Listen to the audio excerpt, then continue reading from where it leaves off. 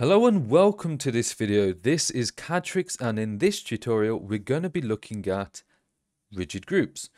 So by default, whenever you make separate components that are part of a, a assembly, for example, like this, we want we want it to be treated as a single component really. Like if we want to move it, we want all the pieces to follow.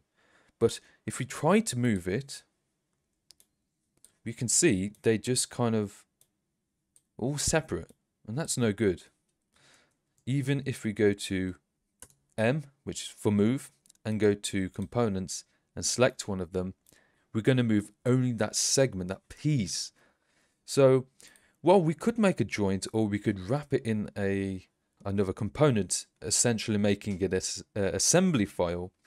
One of the simplest ways you can do uh, to treat this as one object while maintaining its separate component uh, design, you can go to assemble rigid group. And if you get this, essentially means that the models that you have are in a different position from when you first created it.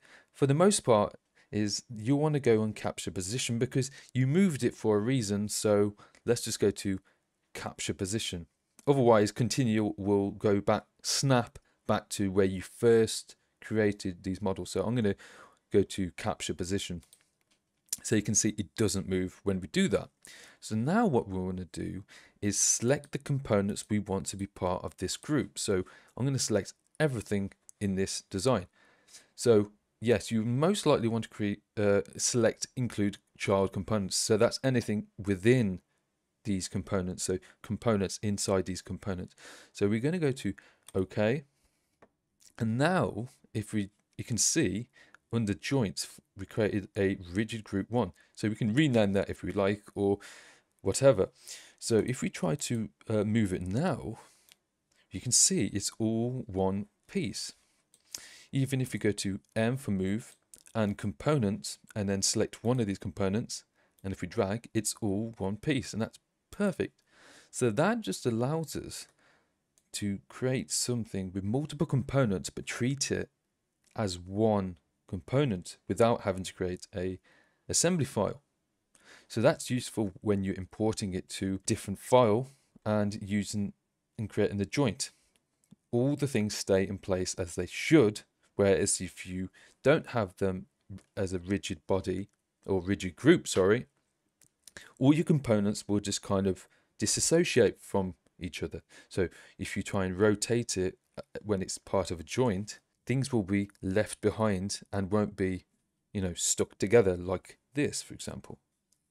So yeah, that is just a short video on Actually, I'm going to first, um, before I go, I'm going to just say if you ever want to, if you ever want to kind of suppress that rigid group, then obviously just go to right, just right click on rigid group and go to suppress. So what does that allow you to do? That allows you to move them like you could before. But as soon as you go to right click and unsuppress, then everything snaps back into how the rigid group would be uh, kind of formed. So you can also go to edit rigid group and you can add more components to that if you want. And uh, yeah, uh, if you just wait for that, that's about it really. So you can rename this to uh, shoes holder group and we can also just delete the group. So we don't want it anymore, then we got original functionality back. So yeah, so I hope that helps and uh, uh, I'll catch you in the next one. If you enjoyed this video, please feel free to like and subscribe for more videos like this. Or if you found it horrendous, please feel free to insult me in the comments.